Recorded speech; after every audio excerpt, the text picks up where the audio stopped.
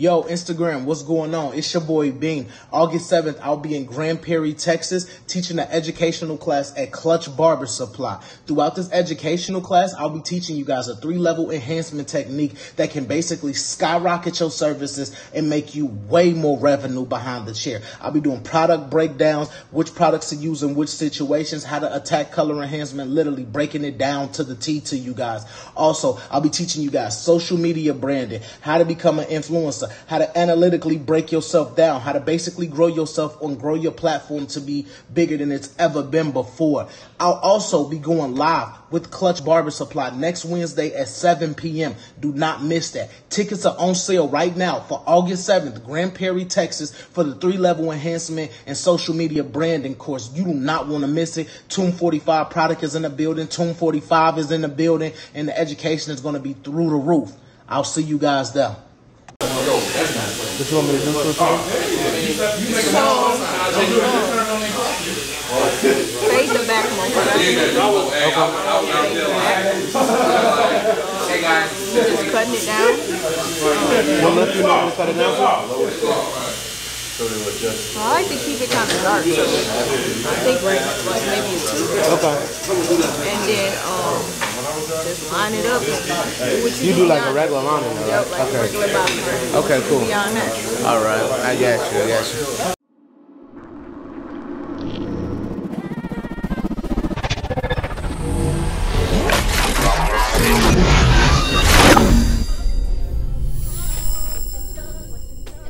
Oh yeah, Lee, just hard.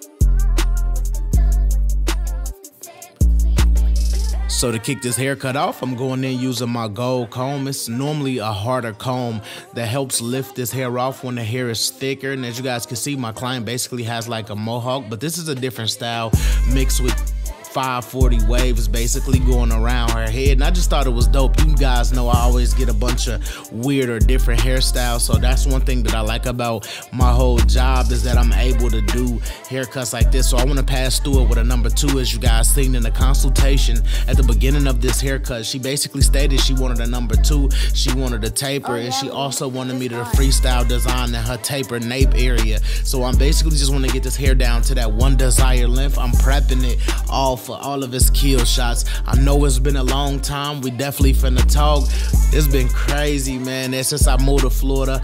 And I just recently opened up my actual schedule books for August 10th. So if anybody wants to book an appointment with me because I'm not on the headlines booking app right now, you guys can DM me on Instagram at P A P I B E A M Papi Beam. You can inbox me there. We can set up your appointments. I'm in Tampa, Florida. I'm set up. I'm ready to go. I'm locked in. We finna get these videos back in rotation. So as you guys can see, I go in her nape area at least half an inch from the bottom and create a guideline. Then I go up another half of an inch, completely open my gamma mythics, giving myself room to create a nice transition in her taper area. I am ready right now. Like I'm locked in all the oh, way right now. It's been a long, long, long time. And I go in with a number one right here, completely open as well. So yeah, it's been eight, nine months since I actually physically cut in the shop. I left, you know, Chicago October 19th, and I just been really working, setting my home up, giving, you know, making my home an actual home for me, not just, you know, living here in an empty space. So like just filling my own house up, staying focused elsewhere, working on a bunch of my music that I'm getting ready to start to release. Like I have like over 50, 60 songs now. And, you know, I just been really working on myself, breaking myself down and getting a better understanding of myself as a man. Like ever since I left Chicago, you know, that switch switched in me. Like I don't have to be as defensive. I don't have to be as locked in in terms of the way that I live. Like I live in a gated community now. And that's not to boost myself up. That's not to do anything because you work hard to live in these areas throughout your life. But the lifestyle was so different. The community is so different. The way of living is so different that I just overly indulged in this way of living now. Like I feel good to to to be here. So as you guys seen, I went in with my 116th guard and I was halfway with that and I cleared that area. Now I'm basically dropping my lever from open all the way down to halfway to close just so I could get a nice clean, you know, transition in this nape taper area. And as you guys can see, the taper coming together really beautifully. I just got the two area towards the top of the taper to really knock out. Once I knock that area out, Oh yeah, it's gun smoke. As you guys can see, like this is clean, like, and this old footage. Like we talking about footage that happened in October. Like this was one of my last haircuts. I got this one and I got one more that I'm actually gonna drop from Chicago, and then it's gonna be complete new footage. Cause like I told you guys, I just opened my books up in Florida. So again, if you are in the Tampa, Florida area and you want a service by Beam, DM me on Instagram at Papi Beam or drop it down at the comment section in the bottom of this and we'll figure it out and we'll try to set you up for an appointment. As you guys can see, man, I got a lot of lineup work to work with. This look kind of crazy. My client's lineup is everywhere, but she wanted a real lineup. So as you guys can see, we finna box this thing out. We finna frame this thing out. We finna hop in that duffel like we usually do. So let's get started. As you guys can see, I basically flip that ear down. I start to bang out the tilts or the vertical bars of my nape area. Oh, and as I flip the ear down, I use the corner of my blade to work myself around the ear. Just give me way more control of my trimmers and give me more of a consistentness throughout the lineup. And I'm repeating the same steps here. As you guys know, this is just frame out work for me. This is my setup work. Start with my vertical bars, flip that ear down, use the corner of the blade as my wrist work to work myself around the corner of the ear, giving me full control of this nape area lineup. Really easy, really consistent, and as you guys can see, banger. I'm just staying focused. We're just trying to get throughout this whole haircut, just ensuring that all our lines is intact. Now, I start at the bottom of my sideburn area. One thing I like to do when somebody curvature area or they C cup area is really dense or really heavy, I like to put reference points. Okay, so it's like it's easier to put two reference points, which is my top curve and my bottom sideburn, and then connect them for my third reference point, which is my actual curve. Because when it comes to lineups, opposed to just putting my clippers down and creating one big Chicago C, as long as you create reference points between the C's, it's easier to connect those lines. It's easier to play connect the dots than it is to create just this perfect line. Always set yourself up with reference points to something that I teach in majority of my expo classes, majority of my private classes. Like my class that I'm coming out to Grand Prairie, Texas for August 7th. I better see y'all there. Any of my subscribers that's close to that Grand Prairie August 7th, Texas class. Be at Clutch Oh, Barber Supply. We can shake hands, take pictures, chop it up, get a better understanding of each other. Like that's something that I've been doing since I've been here since August. I mean October 7th. Is I've been doing classes nonstop, even if I haven't been doing YouTube videos. So to get back in the line, and I start in the middle area, and I start to basically create a nice small indentation in this area to start to create a line. I want to preserve as much hair in front of the mohawk as possible, but I also want to give a realistic image and not pushing into her lineup, but giving her a consistentness throughout her, her lineup. I'm not pushing her lineup to the end of her eyebrows, but it's like three fourths of her eyebrows, just giving it some realism. Because some people will just push it to the back of the eyebrows, then it's heavily looked at as a pushback, and that's just never been my style for me. Just because, you know, the end of the eyebrows is a good reference point for a lot of people in the world, I'm not gonna do that to a woman who has a forehead naturally full of hair. I'm gonna go either halfway or three fourths in that eyebrow Oh, yeah, in terms of distance and width, just so I don't push her back too much. You gotta remember, we barbers. The hair that you take off now, you can never get back. But the smaller we start off with this lineup, we can always stretch it out more and more and more to be contoured to the client head to actually fit their forehead foundation. And that's what's important. You got to play this like a pro. You have to look at everything that's going on and you have to be comfortable in this. As you guys can see, I'm slowly but surely tapping the hair. I'm holding the hair with the back of my left hand. I got some super sharp trimmers in my hand. I know she got soft skin. She a woman. I'm not trying to hurt this lady's skin at all. I'm not trying to do no damage to her skin at all. I want to ensure that I can get this thing done as equally as possible, but also give her a sharper image that she requested and asked for. At the end of the day, I'm a barber.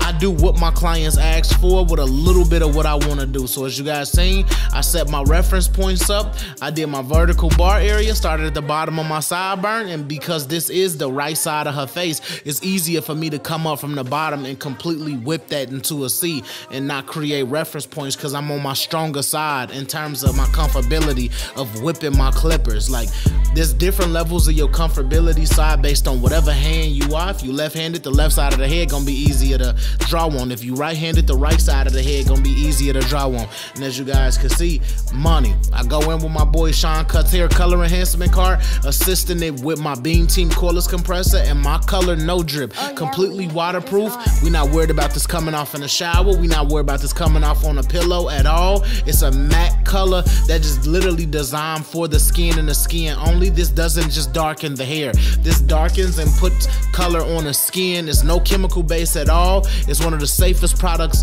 that you can use and the number one selling color product in the barber industry right now. If I could tell you how much I appreciate all you guys out there who've supported me buying a compressor or supported me buying my color no drip, I humbly appreciate you. Tomb 45 one of the greatest things I could have ever did, one of the greatest collaborations I could have ever did.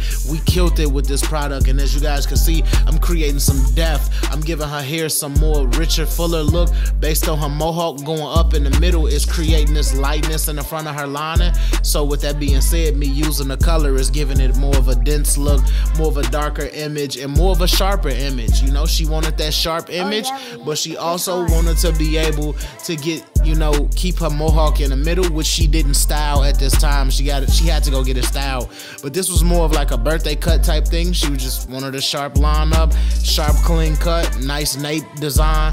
And then she was gonna leave here and then actually style the middle. So as you guys can see this is coming together really good to me. Like now I'm gonna go in using a pencil and big, big, big, big, big, big, big information, man. We got our own pencils out now, but this footage is super old, so I'm not using my pencil specifically, but I'm dropping footage like very soon using the Precision Pack 245 pencils, the best pencil on the market. What the lead is made out of is ridiculous. The consistency of the sharpener being on both sides, you being able to have two colors in one throughout the pencil, like it's ridiculous. And you guys know when I'm doing this step, I'm basically creating contrast between a lineup and the skin. I want to give it a pop, a flare, a flash, that icy look. And whenever you come to Beam Channel, that's something that I pride myself on. I pride myself on giving sharper images and cleaner images. And as you guys can see, that is nasty right now. Like it looks really good. So I go in behind it with my trimmers and hit that line and make that color spread across that skin gorgeously. I'm just taking my time, slowly but surely, tapping slightly but surely. I'm not overly playing my part. I'm not pressing into the client here. I'm just flowing. Oh, yeah, I'm having fun, fun. man. And as you guys can hear, just even on this video, like this is a one take. I'm having fun just recording myself right now. It's been eight to nine months since I gave you guys like real in shop things, but it's been four to five months since I gave you guys a video. So I just really feel like I'm obligated to have that energy to be here, to really walk y'all through this thing, to have fun. So let's get into the nape area design. As you guys can see, I want to go in. I'm creating a slight, like, you know, U shape and then more of a Z shape, and then now starting to curve it and give it some ergonomicness to it. So one thing I want you guys to know, coming into the designs right off the bat, don't never overplay your part.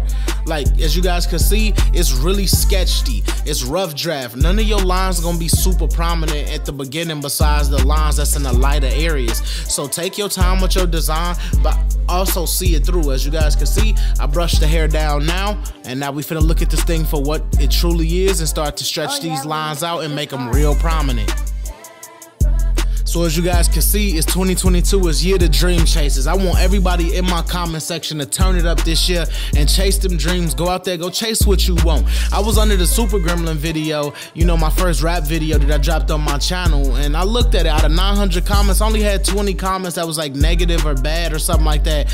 With that being said, 800 plus comments of just greatness of people who loved it. I do barbering at the highest level, and not everybody like it. But at the end of the day, you guys see me create influence. You guys see me me put my name in this game. I have products now. I'm an entrepreneur. Like I own a multi-million dollar company in barbering now. So with that being said, don't ever let somebody deter you from what you got going on. Just because somebody don't like what you doing, don't mean at the like it's over at the end of the day or you can't make it doing what you doing. I have 60 songs in my clip ever since Super Gremlin. And yeah, I got 20 people who didn't like it, who didn't like the content that was being talked about, but that's my content. That's my life story that's my trauma that that's put into music like that. And people won't get it until they living in predicaments. And that's the difference between me and a bunch of these content creators. A lot of people in this only want you to see them for whoever, whoever their character is through here. I want to lay my character out in front of y'all. My level of transparency is next to none when it comes to youtube. I'll never stand in the same box as no content creator. And that's why i separate myself. They not built from this cloth because everybody got something to hide. But the end of the day, when you real, when you living your truth as a man, it's impossible for somebody to break you down with words when you've been through it. I walked through this. This is what I've been through. I got so much more music on the way. I want y'all to chase y'all dreams. I want y'all to have fun. Remember, like, fall in love with being the individual that you are, living your truth. Because at the end of the day, you know what it is. If you live in your truth, nobody could ever deter you or tell you something different. I got more music on the way. Super Gremlins was literally not even cookie crumbles or not even sprinkles compared to what I could really do in terms of harmonics, carrier melodies, vibes, music for the female. It's on the way, fellas. Like when I tell y'all I'm locked in, I've been cooking up my next video that I plan on dropping in a week or two after I handle the Grand Prairie, Texas class, I'ma just go ahead and throw a preview in there for y'all because I wasn't gonna ruin it. I want to come back give y'all my energy. I wasn't gonna just throw no music in here today oh, yeah. without giving y'all the full clip. But as you guys can see, look at that. That design came out fire. Now we in the razor work, angling this razor at a 45 degree angle, bringing everything back to the actual lineup, staying consistent, brushing one, fade one, and just making sure everything is flush in this haircut. This looks beautiful. She crispy as ever. Her nape area design is amazing. And you know, y'all know the type of person that I am. I like to execute and then I like to get a mirror to the client. So that's the only thing that I'm doing. I'm cleaning her skin up. I'm cleaning these areas up just to get a mirror to her and let's see what she think about this. So as you guys know, it's unfortunate that we live in this world where we got to create these lines for people. We got to do these different weird haircuts. But at the end of the day, we are barbers. This is our job. This is what we do. It's 2022. It's year to dream chasers. If barbering is whatever you want to do, chase your dream. If it's music, chase your dream. But at the end of the day, y'all know what time it is and how I give it up. Let's lock in. Hashtag TBT in that comment section. Hashtag Glacier Gang. We focus. We locked in. I got her icy as you guys can see. This nape design is gorgeously done. It's faded, it's clean. Man, this is just a beautiful, beautiful, beautiful, beautiful design. As you guys can see, it looks good. The waves is laid. This is just nice, man. Got a sharper image on the lineup. This is dope. Shut up.